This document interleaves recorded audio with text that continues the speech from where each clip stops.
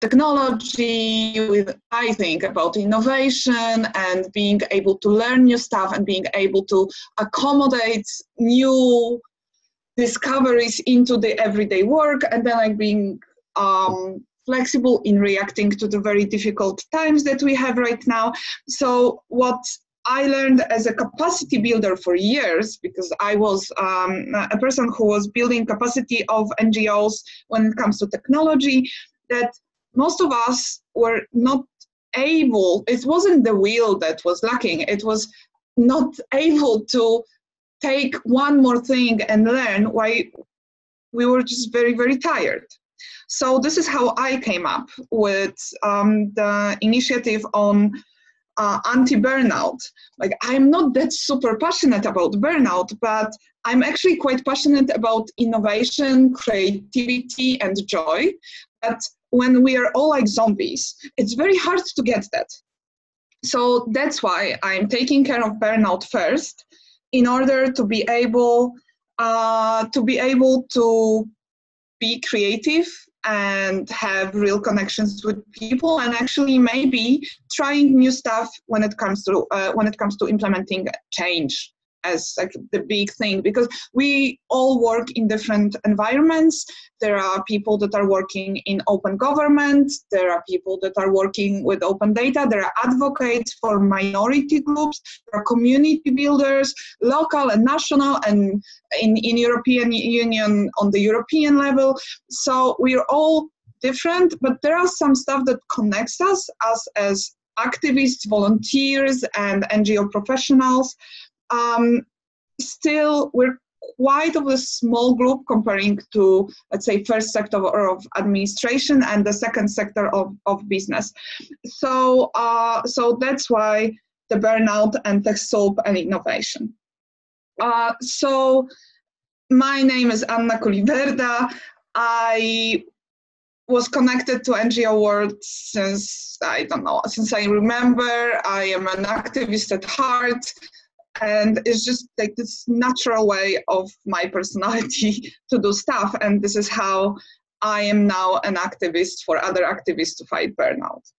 Uh, what this um, this webinar will be it will be let me just try to change the slides exactly.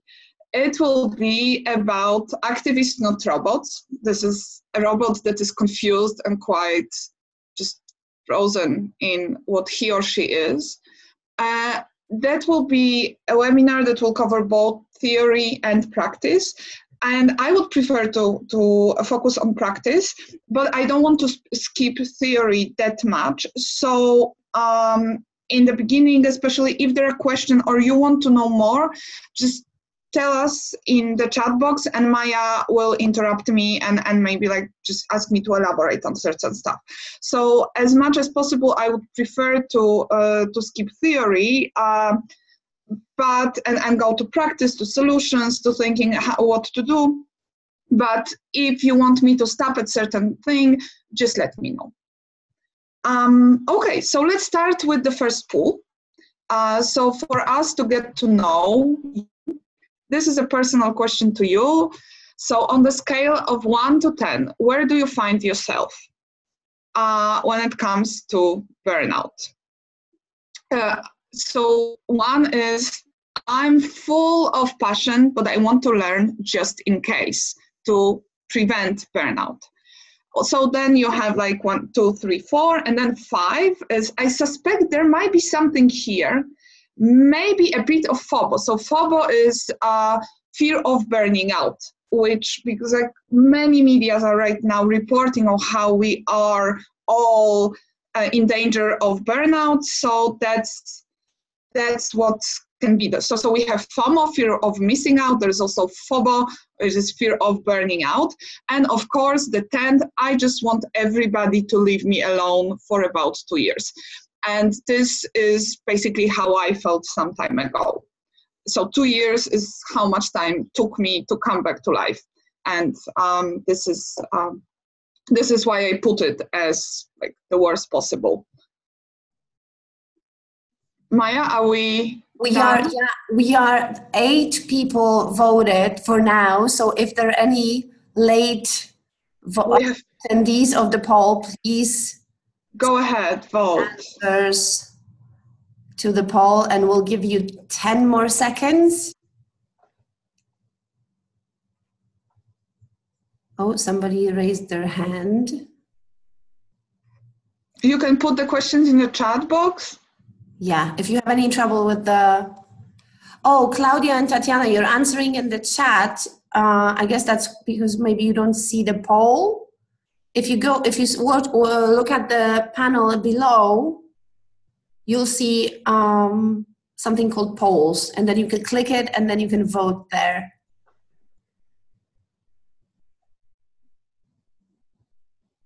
Okay, we're up to 12 answers.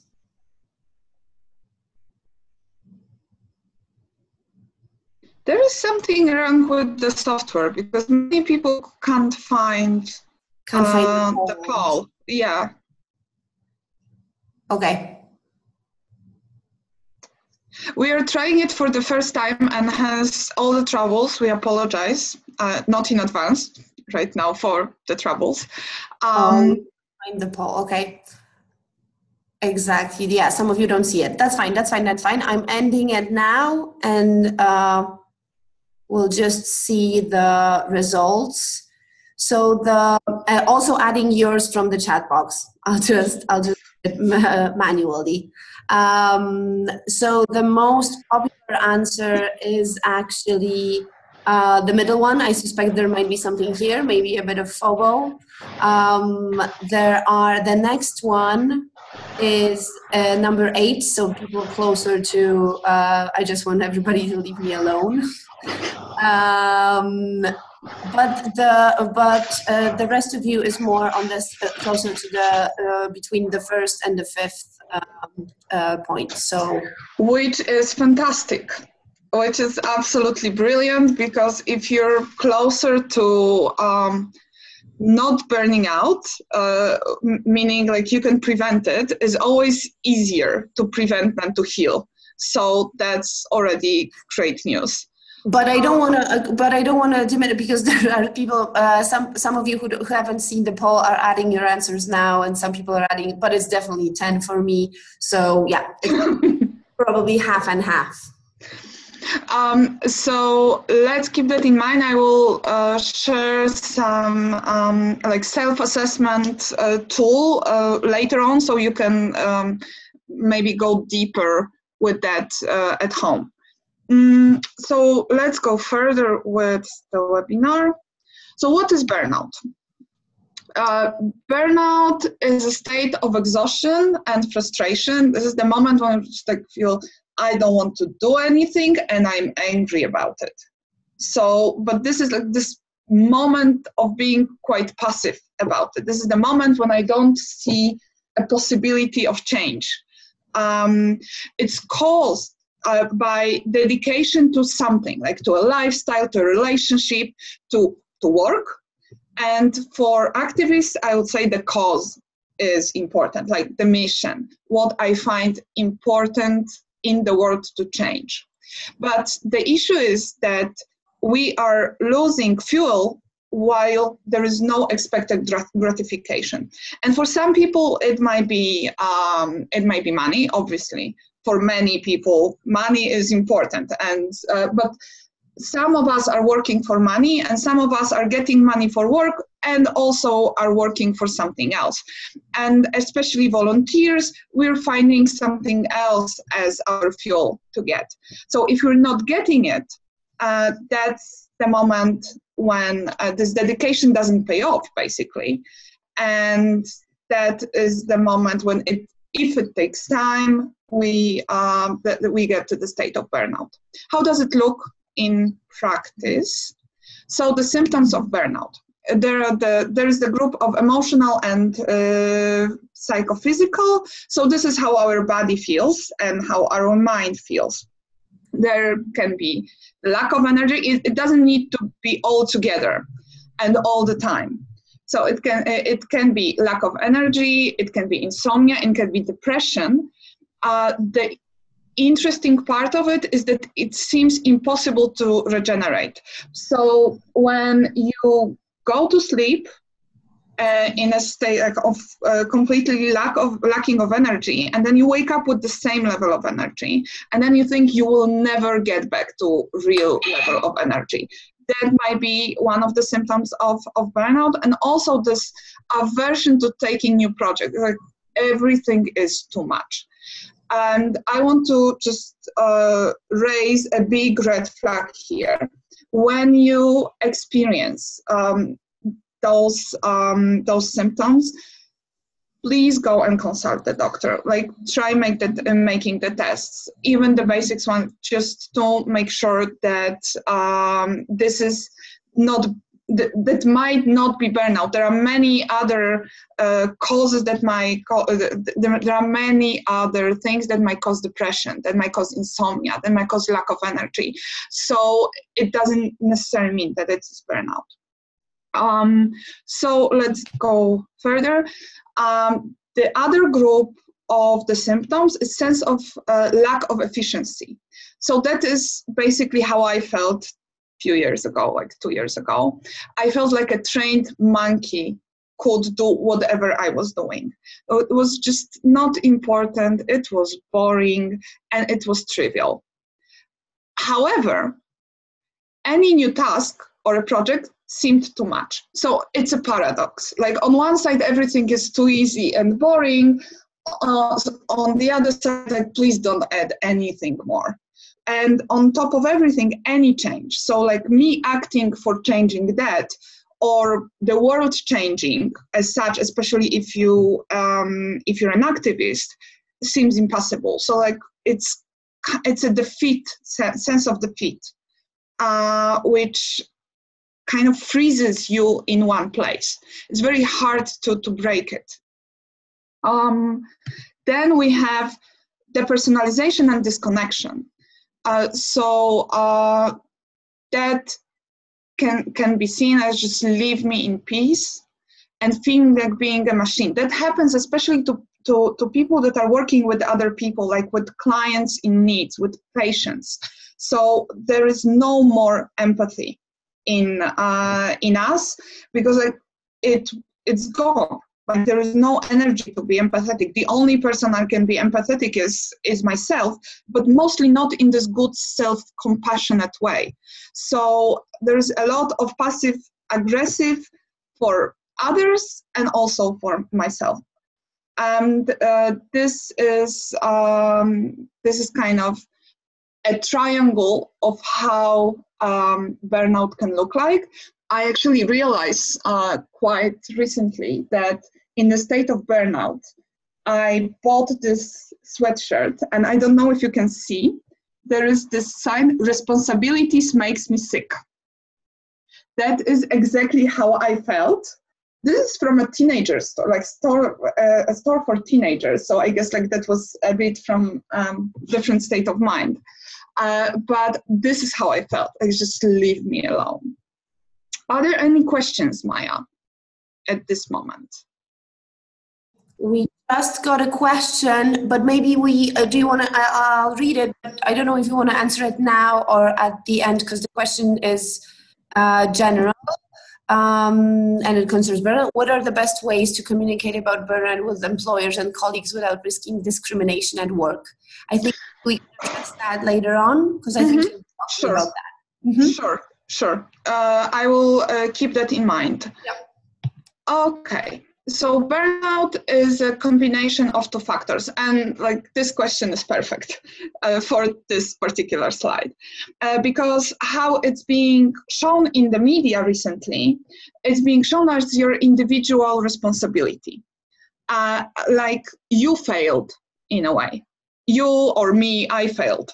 Uh, so, so it's my responsibility also to fix myself.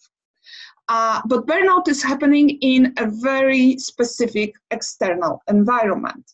So uh, this environment is just taking people that I might be prone to burnout, like we can see people with high qualification, very strong motivation, with ambitious goals, high expectations when starting. This is like having a perfect activist is like a lot of my friends from around Central and Eastern Europe and also around the globe in Code for All uh, community, for example, super co- high qualification, very strong motivation because they choose not to go into business or administration. They wanted to change the world. So the goals are ambition, ambitious and the expectations are high.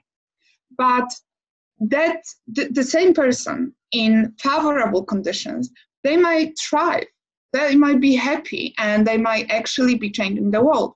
While in a culture of work that is uh, taking advantage too much and not remembering that being rational, like good management, is also or managing people's forces. That is um, that is how burnout is happening. Burnout is not happening because I didn't take a bubble bath burnout is happening because we struggle with a lot of stress. And often this stress is caused by external uh, external environment. Sometimes we can change something in the stress perception and we'll get to that later, but often we have very little control about it. So um, I, I just want to make it clear if there is anything that you can take from this particular webinar is don't blame yourself when it happens. It's not that you weren't not good of not, not good enough of an activist.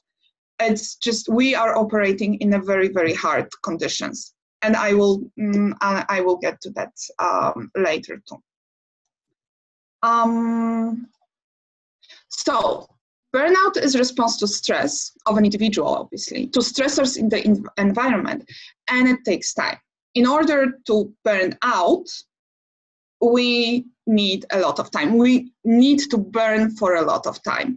So we might be losing fuel, and that is um, so we we might be losing fuel and not seeing that because like we're oblivious to the blinking red light that like, hey, stop! It's just killing you. It doesn't work. Like maybe start stop spinning.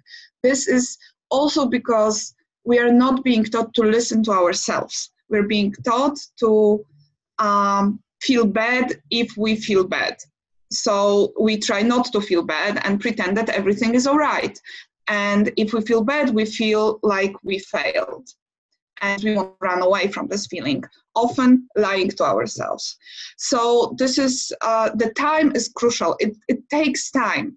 So if at one day you feel like, oh, this is not my day, that might not be a burnout yet uh, but if those days are repeating and repeating, and then you go on vacations and then you come back in the same state and nothing is changing, that might be the burnout. So the time is an important factor. Um, so causes of burnout. Um, and this is big, and Maya was quite um, shocked when we got here. So we every single research right now, especially positive psych- psychology, is saying that we need meaning in life. We need to know that we have positive impact uh, in life, and uh, that what we do is useful and important, and who we are is useful and important. So this is like this loss of meaning um, in what we do as activists. Um, this might be a very big, uh, very big factor contributing as well uh, to, to, to burnout as like a big thing in our life. And now we are going to have another uh, question, personal. I hope this time more people will see the polls because we have uh, i have first the question like do you know what is your meaning of life what drives you like what makes you get up in the morning and just start doing stuff. And there is that the answers are kind of descriptive. So like yes of course. Hmm, probably. Maybe but i'm not really sure. And then i think i lost it somewhere. And then not at all anymore. And some people might say like i don't think i ever had it. And I don't even want to think about it. And then, like any other answer that comes to your mind. Oh, I can see more people can see um, the poll this time. Yes, yes, we are getting better with the polls. Amazing. But if you're having any trouble, obviously write in the um, write in your answer in the chat box, and I'll manually. Okay. Yeah, we're definitely getting there. We have 15 answers. 10 more seconds.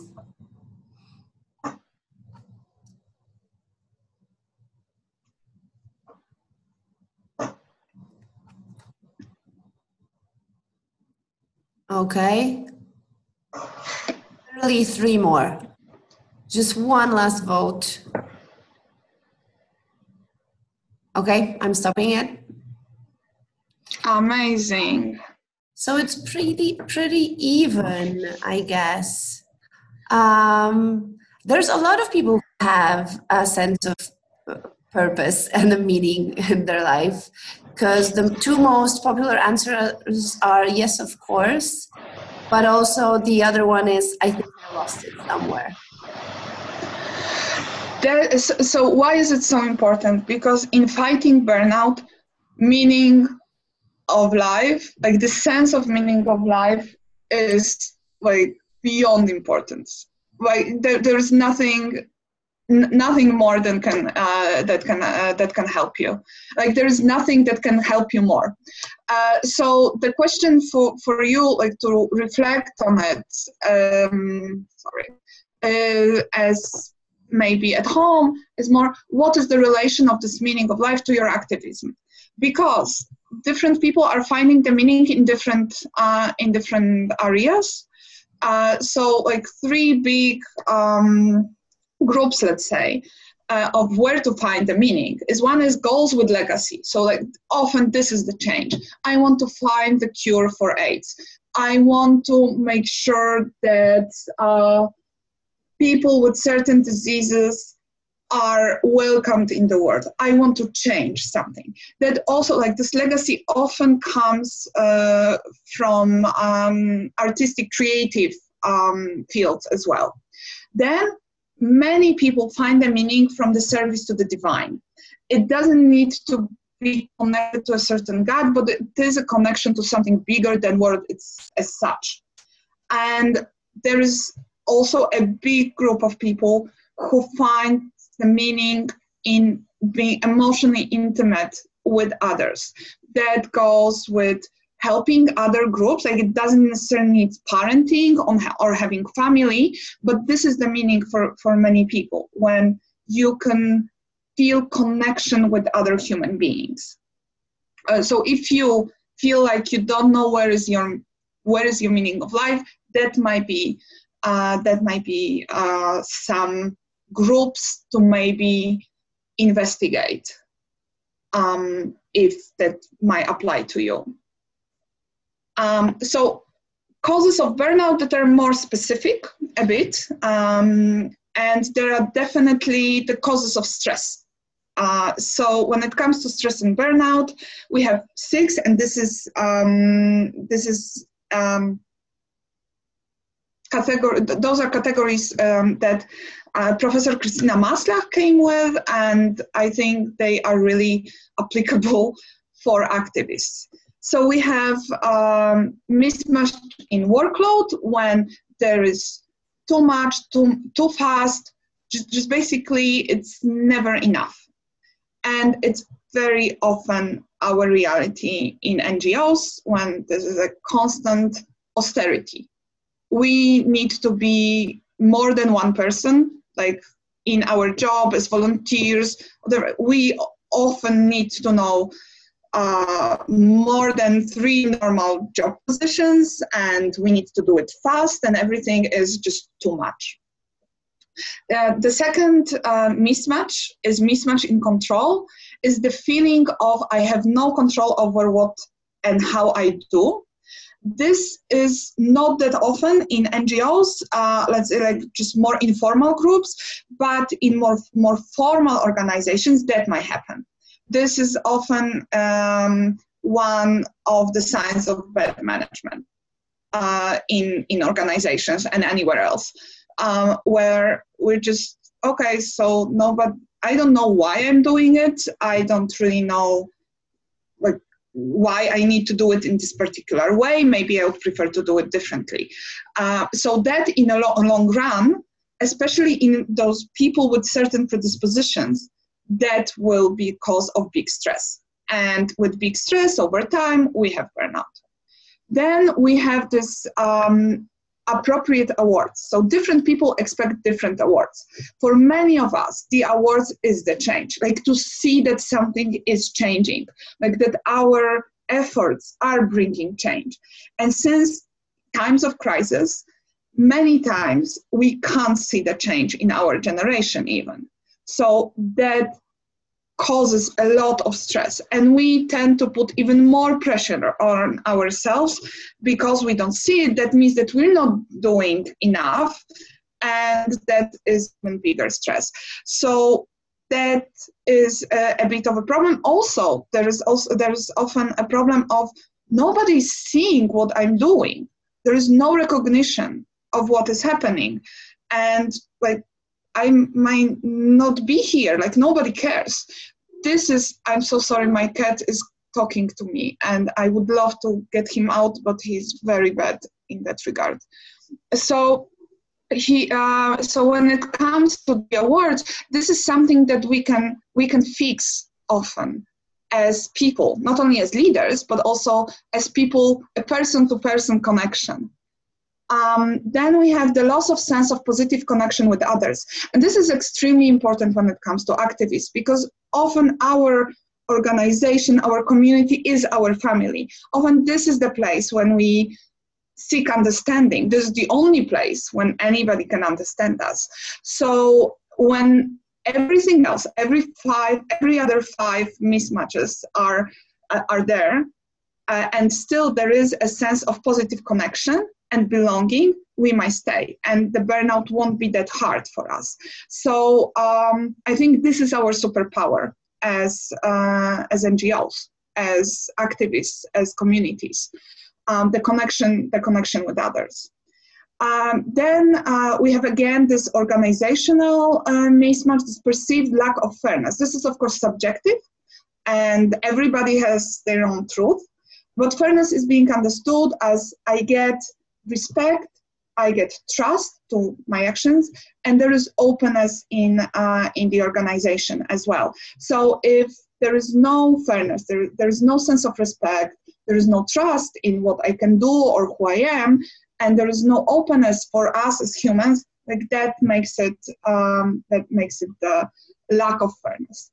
And then um, the conflict of values, which is quite important for activists, is when for example, when the personal values are in conflict with what I do. So I had this a bit, and quite often actually, when I felt like I am focusing more on donors than on the change, for instance, and that I can see that in long run that my contribute to, to, to what I want to do, but truly i feel that i'm just pleasing somebody else instead of doing the right stuff.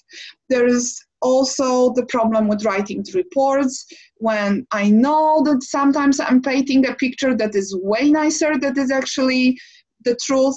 So there is this sense of being a bit of a hypocrite or being forced to act against my values sometimes as well. So this is again um, a cause of stress and in long run also a cause of burnout. Um, so activists, so are there any questions about that so far?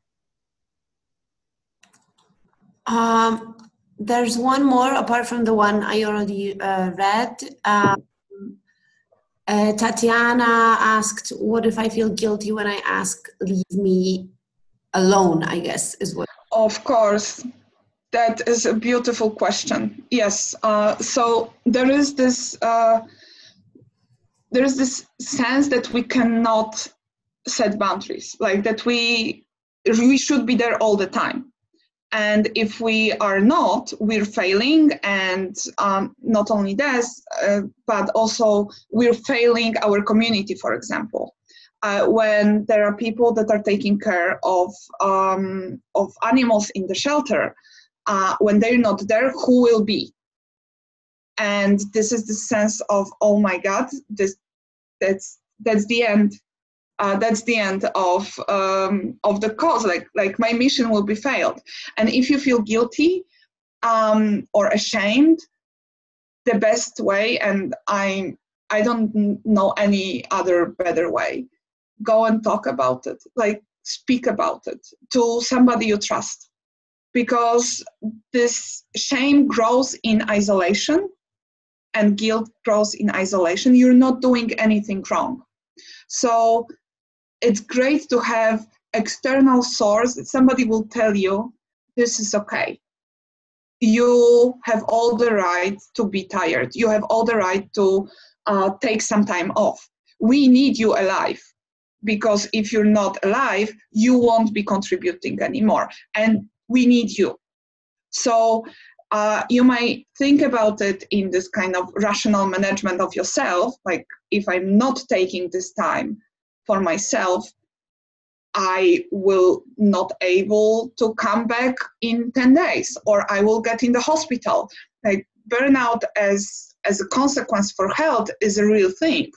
It's it's uh, high blood pressure it's heart attacks like really a lot of uh, serious diseases so it's not like we're just having fun here and just trying to find burnout so if that helps that you're actually finding something bigger by taking some time off for you, that is great. But if you feel more and more ashamed of that you need this time, talk to somebody, talk to a friend. I'm pretty sure more people around you is going through the same thing.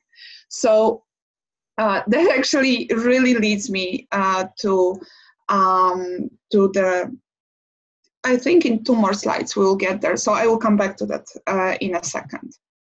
So activism and uh, how, what, what are the specific issues in activism? Uh, so let's start with the triangle, with the permanent austerity.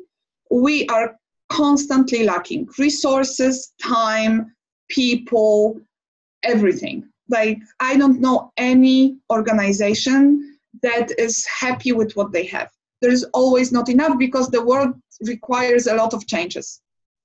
And this is something that not many other sectors understand.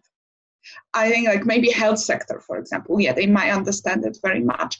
Uh, but uh, in our our reality is really harsh, and dealing with that stress that is all it's never enough. I, I don't even say it's never too much. It's never enough uh, and we often we need to make really really difficult choices uh, on who to help and what to do what needs to what needs to come first and what what need to be the second so uh, so this is the the difficult reality um, of um, of activists.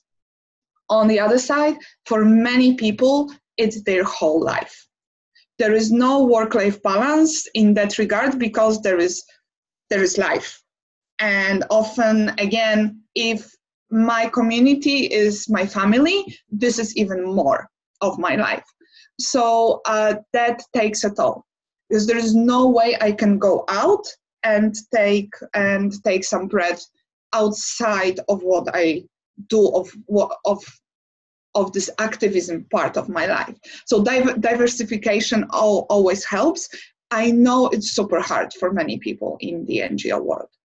And then we have two uh, things that are um, specific to certain um, to certain organizations and certain activism. So compassion uh, compassion fatigue comes when we need to when we are exposed every day to somebody somebody else's suffering.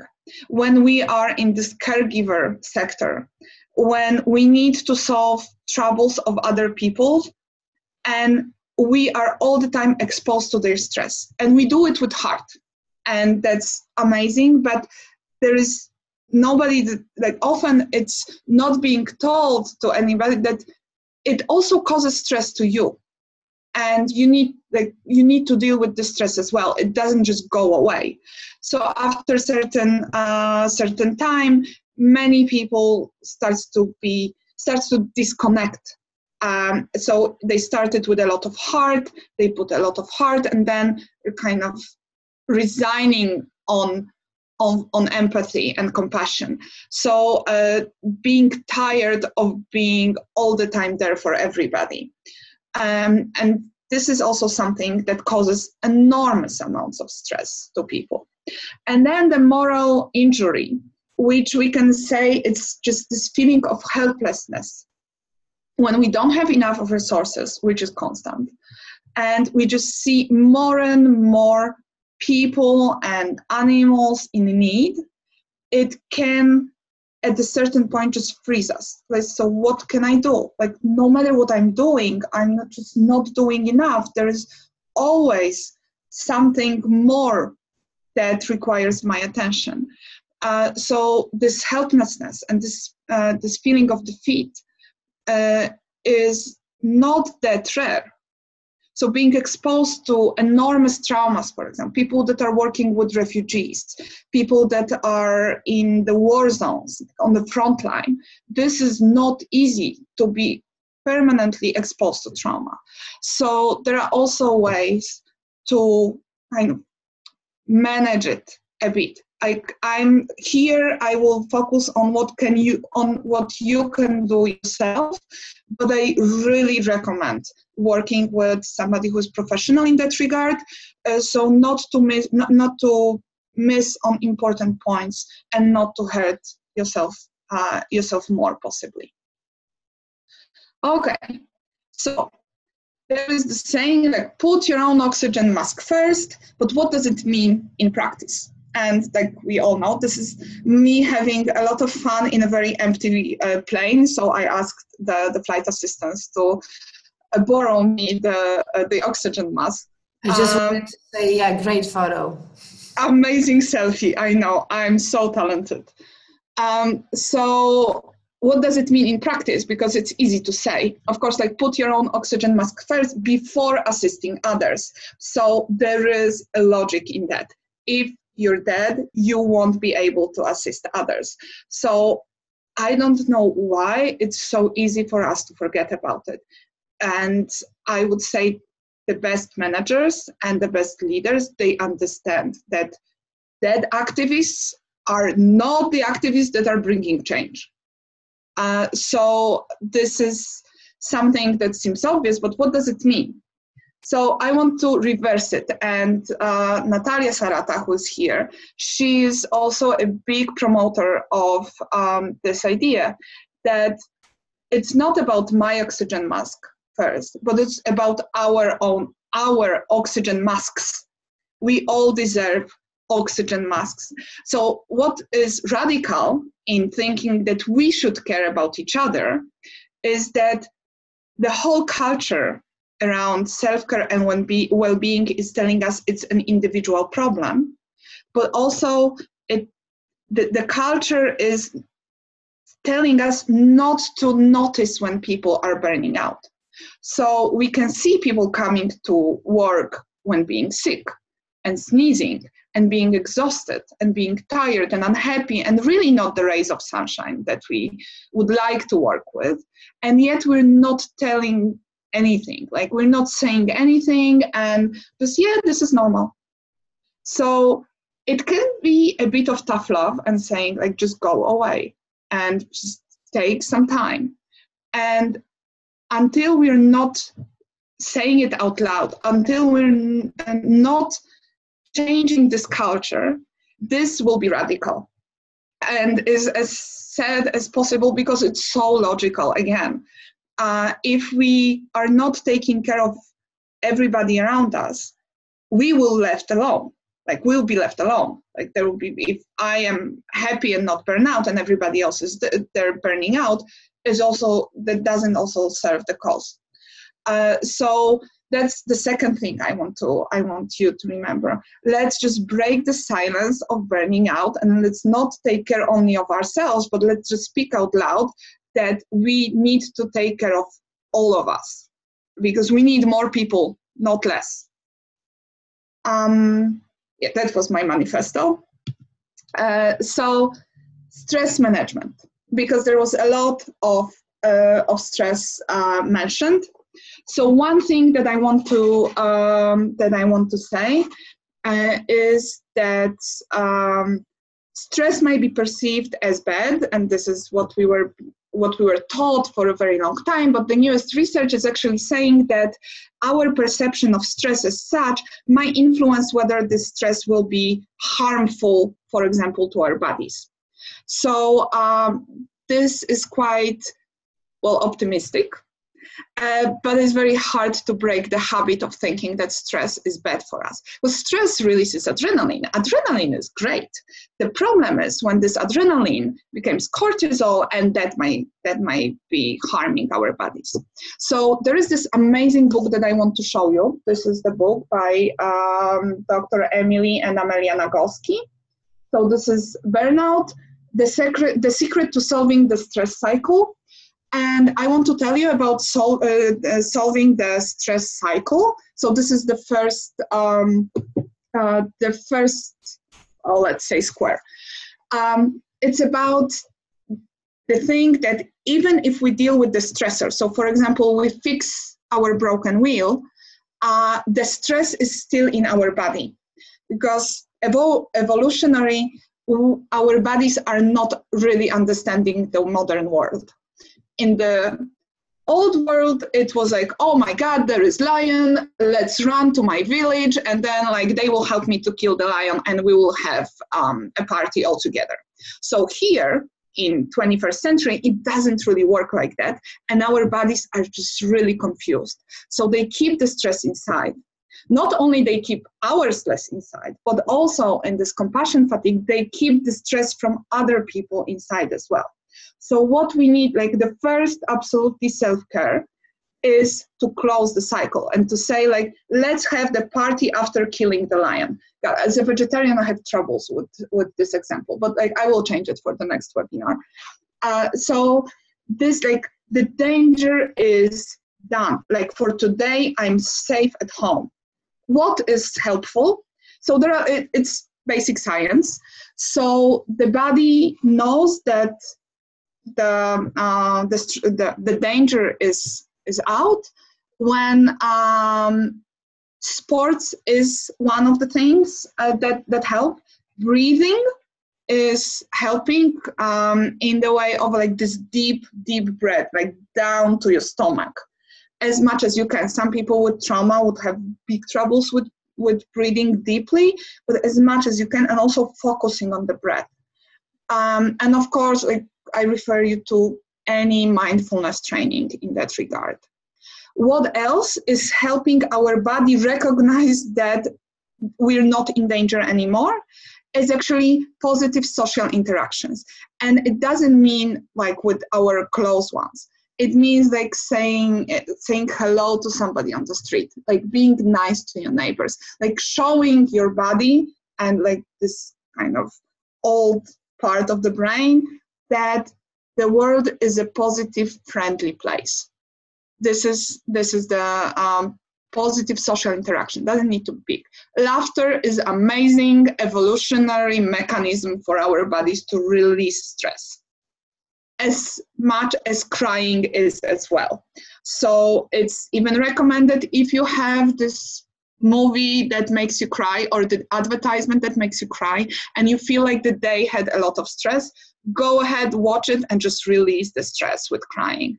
Laughter, yes, like your favorite comedy, also amazing. So, affection uh, is also helping.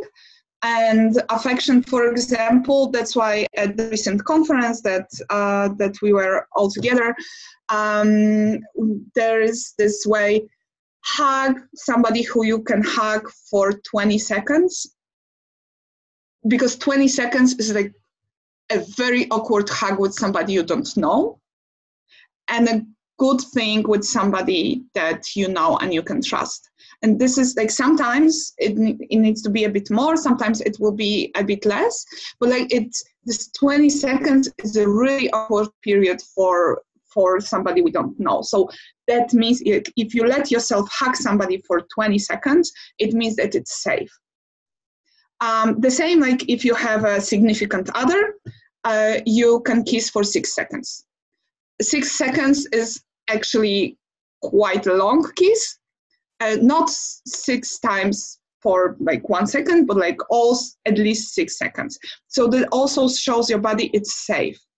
You can release. I can see Maya. Uh, then uh, yeah and creativity because often creativity and creative um, acts are the only socially acceptable uh, ways of showing our emotions. So this is great way. And now you don't need to do all of them. You try whichever works for you. Sport is by far the best, uh, but maybe you don't like sports. There are people like this, and I'm not really a big fan. Sometimes I am, but like sometimes it's not the right thing, and sometimes you don't have time for it. What is important is to remember that we need to close the cycle basically every day. So if you wonder what to do in terms of um, stress control, put aside some time every day to let your body know that it's safe. And we know that we'll come back to the same stressors, but at least for the day, the body will be able to relax okay that was that was big. I totally recommend this book. This is amazing. It says like it's for women but 70% of this book is helpful for every single human being on this planet. And it's full on science. So really zero like if you're not too spiritual which is one of my characteristics this is like pure science um, then uh, let's go into the meaning. So if you have the meaning of your life and you know what is the big purpose, it's easy to decide if suffering certain stress is worth it or not. So it justifies sometimes that um, okay i will do it because i know it serves my purpose and if it's your own conscious decision it is definitely way less stress. And I have tons of stories of the same stressor, like, for example, a very tight time or dealing with very annoying people. And before it was like, I have no choice. I won't find any other place on earth that will accept me. I need to stay there, so I'm trapped basically. And then coming back with another perspective of, okay, I understand why I need to do that. So I'm taking it, I'm embracing this fight, and I know why. And that was so much less stress, and it was so much uh, more empowering for people. So, meaning helps you navigate definitely how to make the decision. Also, it helps you navigate oh, like make the decision if you want to stay somewhere or not. Because you might at a certain point say like, no, this is not worth it, and just go it will not erase the meaning, it will just help you make the decision. Then, if sometimes, okay, not sometimes, very often we have very high expectations. So that puts a lot of pressure, and there is this uh, problem with never delivering enough. So redefi- redefining what is the win, what is the success, really helps in managing stress. So, and also brings you the sense of achievement when uh, basically you know that you're going towards the purpose, but the steps are smaller, but also achievable. So you see the progress that takes away the sense of defeat. I will uh, get to that in the next and the last slide. Uh, so managing expectations makes a lot of sense in not burning out basically. If your expectations are high if you want too much too fast it's basically like creating a perfect environment for for burning out even if unfortunately you will get rewards for being too ambitious too, too ambitious too fast and so on. Like so then know yourself and set boundaries. And this is extremely hard. It's a beautiful small square but it's uh, for many of us it's a lo- lifelong work. Listen to your body and your emotions. Yes. So easy to say so difficult to do.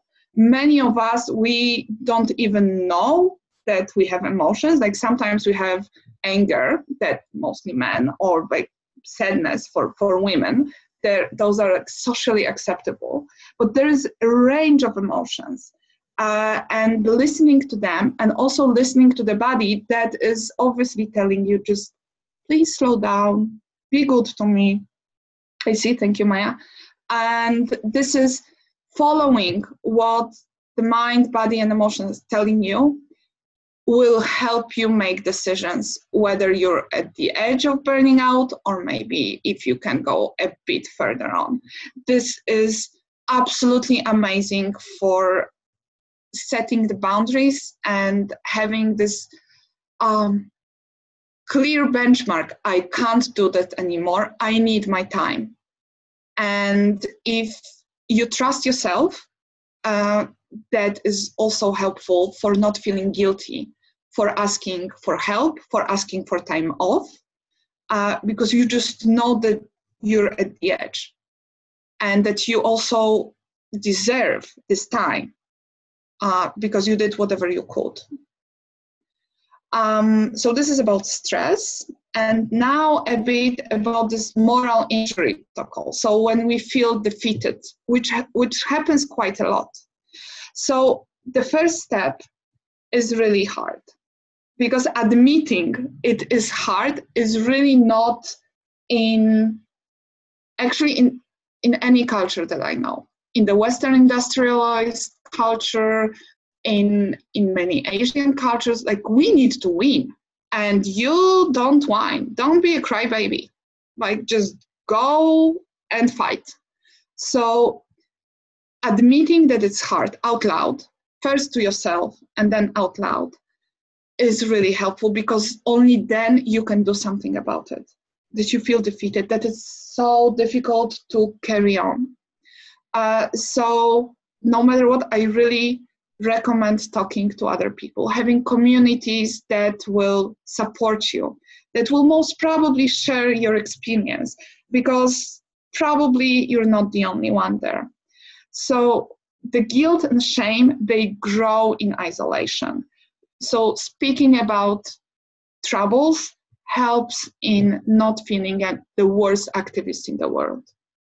And then, again, we come back to the meaning because it helps to find strength in this meaning. Like you have something bigger, you have the bigger purpose to carry on. That's why, for example, mothers are so super strong because they have this bigger purpose.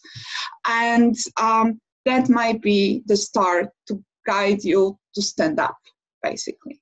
But then the important part, and this is something that you can do for yourself, is assess your strengths and resources. So your strengths, I mean like what you have in you, what are your talents, what are the good thing about you, what are the stuff that you already done, and then see what external resources you have what are other people that you have that might help you in defeating the defeat, like in fighting the defeat, and just take it as a toolbox for carrying on. But this is a very important step to have this self awareness in the stuff that you're good at. There is a reason you're in the place you're you're in. Like it's not uh, your beginnings as an activist, for example. So you already have a lot in your toolbox. Just go and look again at the toolbox and be also not modest. Uh, that's especially for women. Just be true what you really can do and what is truly there in your toolbox. And then, in order to fight the defeat, in order to fight the hopelessness, start doing something even something that will bring you one millimeter closer to your vision. Um, because that kind of reverses the sense of hopelessness. Like there's nothing we can do. No we can do at least this one super teeny tiny thing. And so from my example as um, as a very burnout activist some time ago sometimes it was really making my bed so I got up. And that was my really one thing. And carrying on with really small stuff when you really burn out is something that is helpful. Like just knowing that you can do something. So if you feel like you can't do anything, again, I seriously recommend to go to an expert, to a specialist, to, to a psych, uh, psychotherapist, to talk to a doctor. Because if you can't do that, uh, you might just need some help, and that's absolutely okay. We don't need to be alone in our struggle. So, for the last moment, because I know there are also, besides this book that I highly recommend again, Emily Nagoski, it's a very new book. Um, I have some stuff that I also want to recommend. So, if coming back to this emotion thing, I totally recommend Dr. Guy Winch uh, about emotional uh, first aid how to understand your i will like we will make a list so uh, no, yeah that's what i wanted to propose yeah. we'll list all the books and then email with a link to the recording yes that, that doesn't mean now. i won't i won't show them now yeah uh, exactly so uh, so there is this emotional first uh, first aid. It also helps you recognize the difficult emotions and tells you what to do with it. And I this is a small book on grief, so how to fix a broken heart, and it's just full on really do it yourself uh, emotional help. So very much recommended. This guy has also a TED talk, uh, so you can watch it. But the books are highly recommended. And then there's a book uh, that is called Happy Healthy Nonprofit. And in this book, and also in uh, on their website, you can find this find the self assessment uh, about where is your passion as an activist. So this book is more about organizational level. So this we care and on the sense of like in the organization as well, rather from American perspective or like let's say medium up to big organizations but it's very uh, very useful uh, in a lot of self-help self-care um, recommendations. Uh, so yeah those are the, the, the, four books that i definitely recommend when it comes to um, burnout and nonprofits. How about now There was, if you have any uh, additional ones, but maybe we'll come back to the first one that was asked. I feel like you answered it. Um, you started to answer it, but maybe uh, it's an, I think it's important for a lot of people, uh, which is uh, what are the best ways to communicate with employers and colleagues, this is what you talk about a lot, without risking discrimination at work. I think employers might be so first of all like uh, i would definitely recommend going to a doctor and asking for um, just medical recommendation. Because there is no bigger authority i would say than um, than this uh, than doctors authority. And burnout is a medical uh, issue as well. So it's th- that might be that might be one. The other thing is there's a lot of stigma on mental health unfortunately. So that's why i'm advocating talking about like changing the culture in that regard. And i don't have a universal um, recommendation what to do in here because i see it rather as a process. But honestly stand proud to just being tired and burned out and asking for um, time off or for whatever you need because maybe there are some other stressors that uh, that are influencing your life. So setting boundaries and embracing them helps a lot. Finding allies so not being alone in this fight helps a lot as well. And often maybe sometimes bringing additional materials uh, just to show that this is a real issue because people might not know that emotional health and the, co- the um, consequences of burnout might not be a common knowledge yet as well.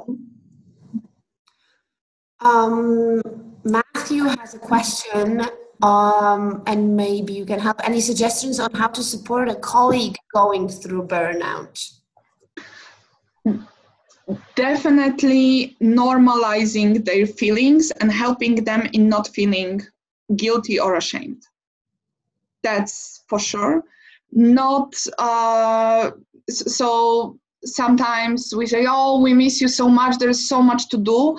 I would say this is not the best way of communicating that we miss a person at work, telling him or her that there is more work waiting for, for them.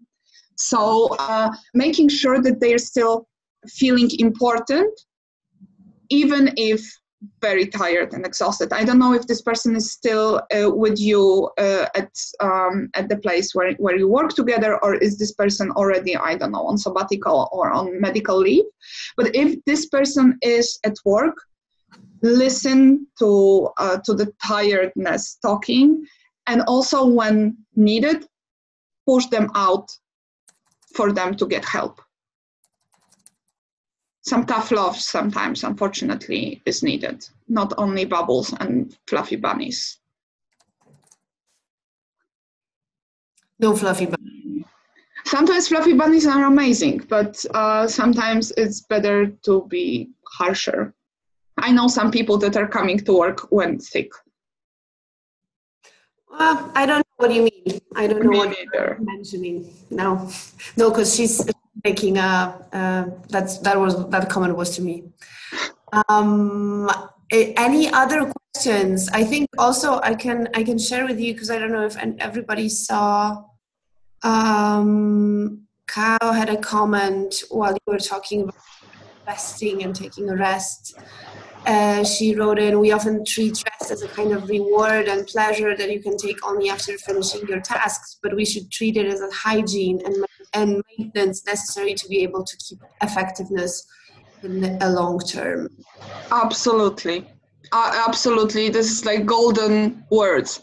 Taking time off is just normal need of the body so humans not robots like if our computer is dying without charging we're charging it and there is no excuse we don't feel guilty about it it's normal while when we need to charge it's like oh maybe not now maybe in an hour maybe in a week in a week i'm going for vacations for two days so this is like we if we treat ourselves like our mobile phones i think we will be so much better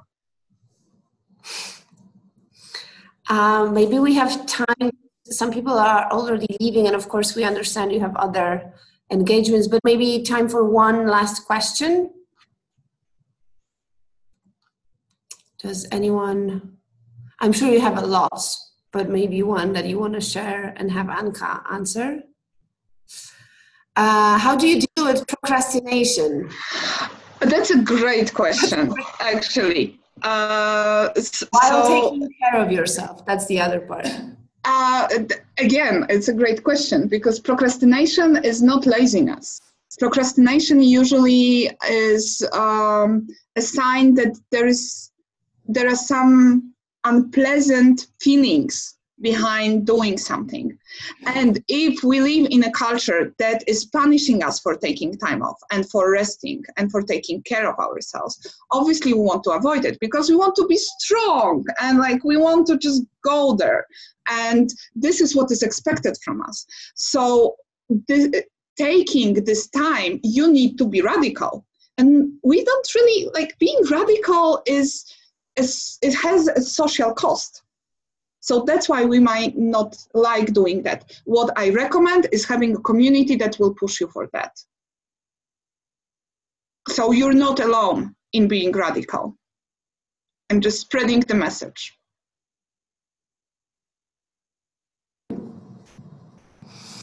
Um, I think that's it.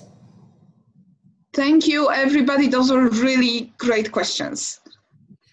And thank you, Anka, obviously. Um, and uh, thank all of you, thank you all that attended. And we'll be, uh, like I mentioned, we'll be sending an email where you'll find all the important links, all the book titles that Anka recommended, and uh, as well as links to podcasts and previous uh, webinars. I just want to, uh, can I just uh, one more time say that for Polish people, Natalia Sarata is doing amazing job with regeneracja. Please find it on Facebook, and Natalia, if you can type it, uh, because I think this is really great for Polish people. Like you will find amazing stuff uh, like every week.